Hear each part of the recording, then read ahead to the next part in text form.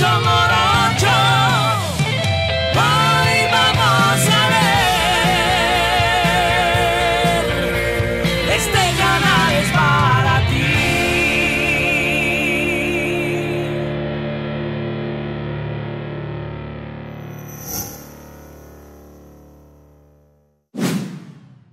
Sí, fíjate de que cuando ya me empezaron a rehabilitar, a nosotros nos mandaron ya para Urenfa formar el, el batallón, le llamaban, no, la compañía de Urenfa del Estado Mayor. Ahí los mandaron a, a todos a rehabilitarlo. Entonces el profa fue el encargado de, de- de rehabilitar a los a toditos. Y lo primero que hacen es eh, empezarlo a dar psicológicamente.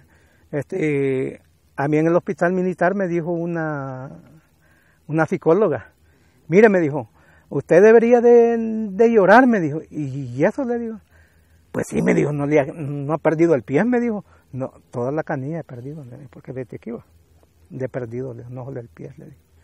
Este, me dije, no, pero llore, me dijo, porque eso le ayuda a desahogarte. Pero yo de qué, le digo, si yo, gracias a Dios, aquí estoy vivo, le digo. Todavía estoy vivo, le digo. O sea que ella le quería dar este, a- apoyo, pero... Moralmente moral, ellos. Pero, pero, pero usted se sentía... No, yo no me sentía malo y eso siempre se, lo- se los he dicho a todos que yo he llegado y hemos apoyado a los que hemos podido, ¿va?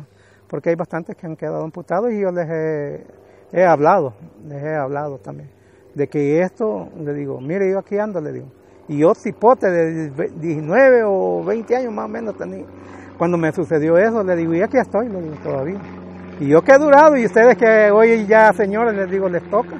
Ahí andamos rehabilitando a algunos. Primero lo, mandan a uno a terapia. En terapia empiezan a uno a probarlo, a- a- a ponerle hielo en el muñón, lo empiezan a golpear, cabal el muñón, empiezan a golpear, lo golpean, lo golpean, ¿Para qué será? para que cuando usted use la prótesis no le moleste, no duela.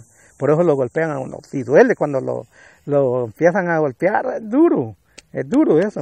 Pero después ya empieza uno a agarrar confianza, ya no le duele, ya empieza a trabajar. De allí yo estuve trabajando con mi prótesis y mire que no se me echaba de ver la prótesis, caminaba sin bastones. De verdad. Sí, joven como yo, bien joven, era delgadito, bien galán, caminaba y no se me echaba de ver, ni, pre- ni, me, de- pre- ni me decían que yo no usaba prótesis. De verdad. Y era desde arriba, les digo, porque los que están de abajo así bien galán, ellos mm, caminan bien. Esto fue porque hubo una mala práctica en el 91, que fui a operación porque el hueso me había crecido, como estaba cipote cuando me, me sucedió todo eso. Eh, el hueso se me, se me había crecido, entonces fui a que me le cortaran. Pero en ese cortamiento Ya- ya- que me hicieron, Ya estaba pasando, la- ya, estaba- ya quería pasar la, la- el, el- el cuerito del- sí, de la, Ya. la piel. La piel ya me la estaba fregando, sí.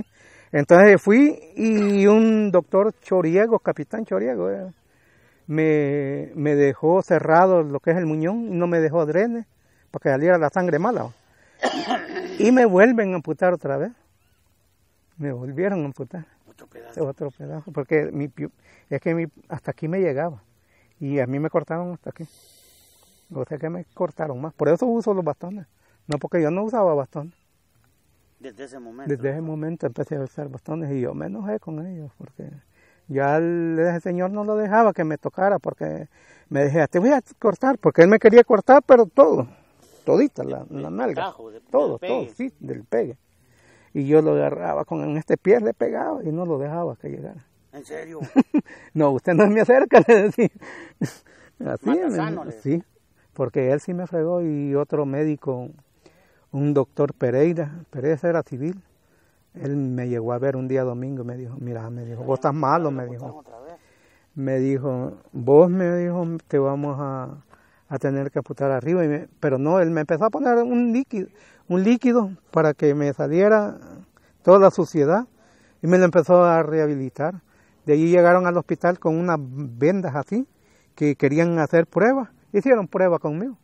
Y sirvió porque solo dos vendas me pusieron que valían 500 dólares en esa época. Carísimo. Sí, y me las pusieron y con esa fue que yo salí salí bien y él me, me arregló y me volvió a, a coser y ya me quedó así. No porque yo no usara estos bastones. Vaya, La prótesis es de, es de arriba. es de arriba. A mí me toca agarrar una venda, agarro, en- lo enrollo en el muñón y empiezo. Aquí hay una válvula. Tiene válvula. eh. ¿Qué es, qué es válvula? Es la válvula donde sale el aire. Yo no me no, no traje calzonetas, no porque me hubiera quitado. Válvula. Aquí. Ay, medio se mira. ¿No se revienta eso? No. Ah, Ah, ya la vi.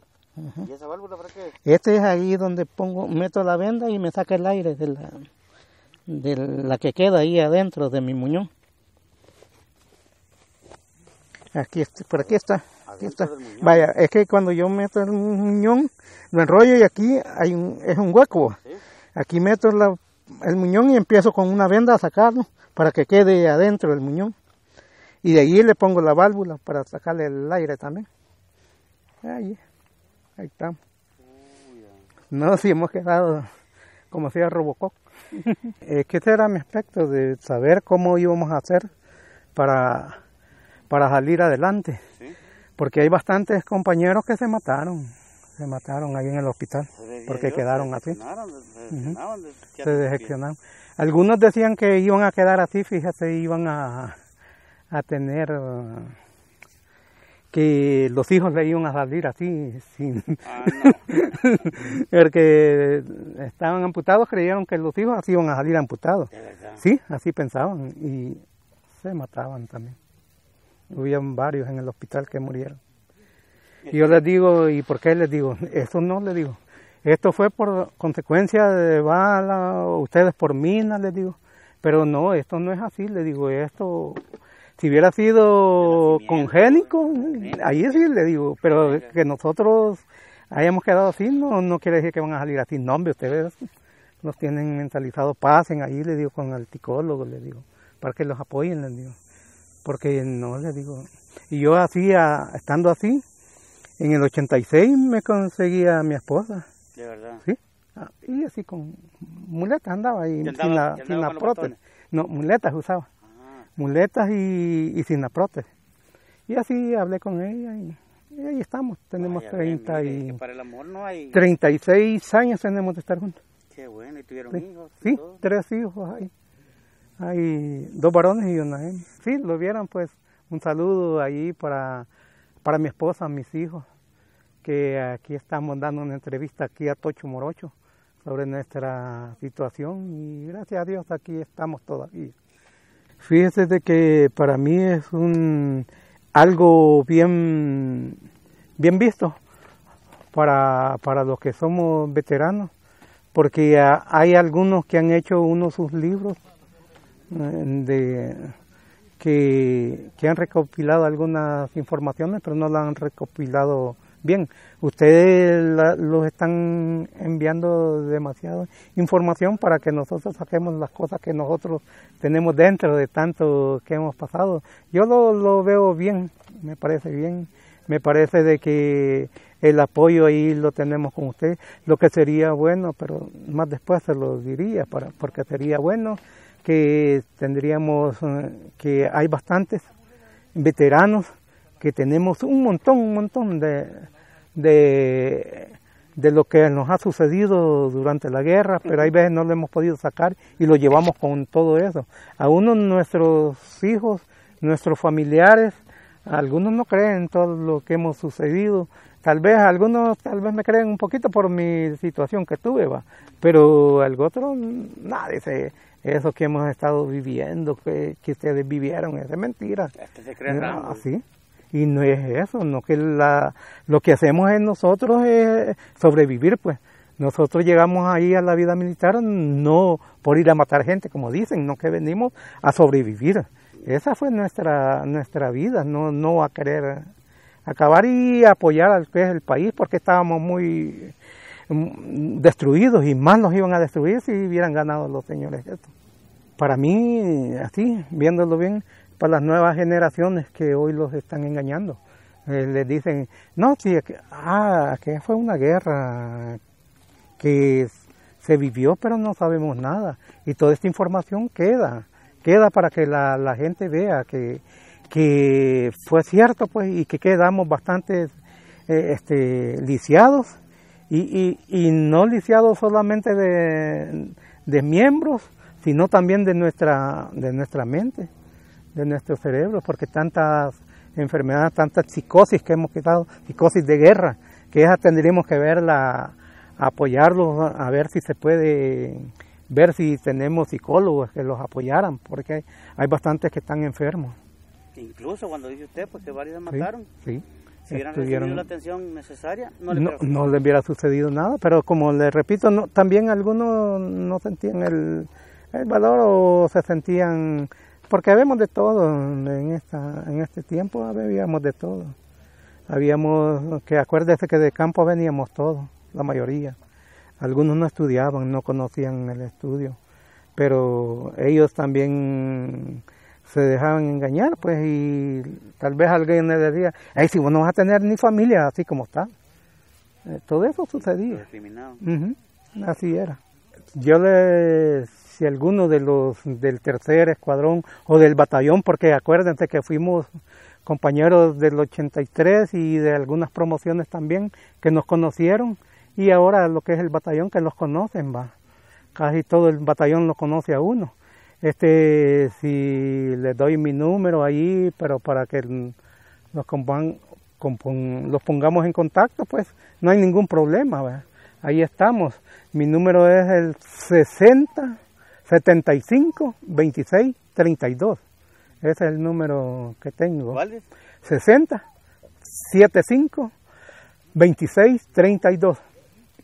Ese es el número que tengo y, y, saludos camaradas para todos allí, los de la promoción y los demás promociones. Que Dios me los bendiga y, y gracias por, por esta oportunidad que he tenido. Este, sí, les podría decir sobre lo que fue mi vida después de, después de tanto tiempo, porque fueron casi 30 años que los empezamos a, a volver a, a, reencontrar con todo lo que es el batallón y el tercer escuadrón. Este, sí, mi vida fue que después de Urenfa los mandaron a sacar, a hacer profas, los mandaron a sacar, supuestamente se le llama nivelación, y de ahí lo mandan a sacar un curso, un cursillo a uno. Este, yo fui a sacar el curso de, de electrónica, de electrónica y de ahí estando en ese curso de electrónica me pasaron para lo que es al Ministerio de, de Defensa. Allí fue donde yo me jubilé en el, en el Ministerio de Defensa, en Coprefa, ya no se llamaba Coprefa, no que se llamaba Centro de, Centro de, Comuni Centro de Comunicaciones y Protocolo de la Fuerza Armada, así se llamaba. Después le cambiaron de, de Coprefa a Centro de, Comun de Comunicaciones de la Fuerza Armada. ¿Y ahí qué sigue usted? Ayer yo era el técnico del equipo de, de video, de sonido, del que teníamos allí. Era del que mandaban las, los videos para los canales ahí estuve yo. Sí, camaradas, y eh, al que le gusten estos videos, pues que, que, lo, que lo compartan para que lo sigan viendo ahí más, para que crezca lo que es Tocho Morocho. Así que bendiciones para todos.